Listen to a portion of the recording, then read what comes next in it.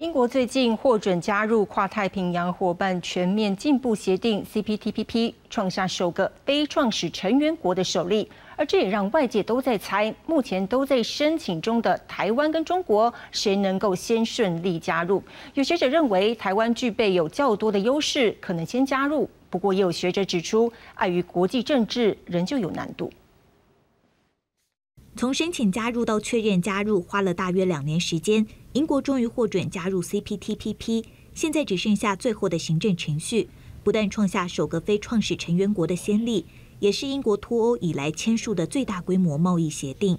CPTPP 现有成员国包括日本、加拿大、澳洲等十一个国家，大多都是我国主要的贸易伙伴。目前申请入会国包括台湾、中国、乌拉圭、厄瓜多以及哥斯达黎加。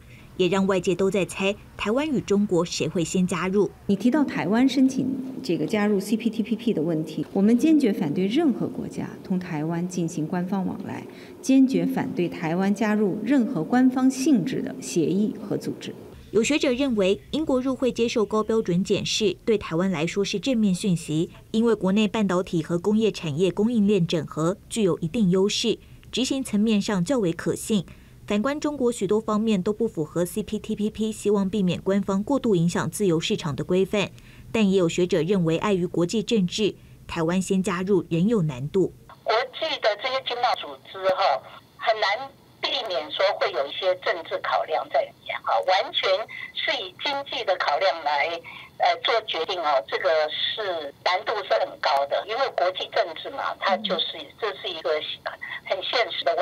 杜巧霞指出，在国际政治上，中国相对强势，可能遵循 WTO 模式。